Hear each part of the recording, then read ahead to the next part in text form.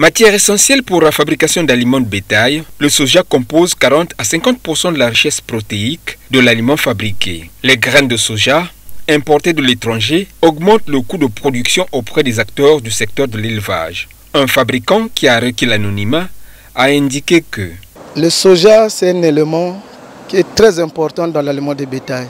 Présentement, le soja est importé. Nous ne cultivons pas le soja au Congo. Parce qu'il y a tout un grand processus. Il faut rentrer à la transformation, telle que faisait la MAB en Caille, avec l'huilka. Mais comme l'huilka n'existe plus, donc il est très difficile d'avoir le tourteau du soja. Parce que dans les élevages, le soja, on graine, non, nous utilisons le tourteau de soja.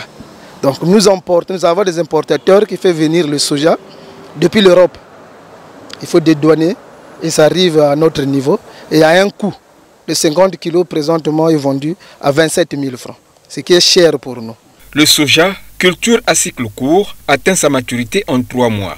Son exploitation est plutôt favorable en République du Congo, ce qui ouvre le champ au développement de grands projets. Si on peut arriver à cultiver notre propre soja, à le transformer, à le mettre en tourteau de soja, ce sera la bonne chose. Donc il y a des besoins réels qui sont là.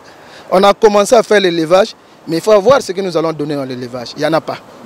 Que ce soit pour le mouton, le cochon, y compris la, volaille, il n'y a pas l'aliment de bétail en humain.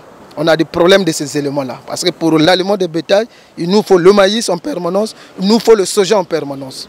Donc, il y a le côté d'énergie et il y a le côté protéine. Notons que plus de 70 et 90% de la production mondiale de soja est destinée à la production de tourteaux de soja pour l'alimentation animale.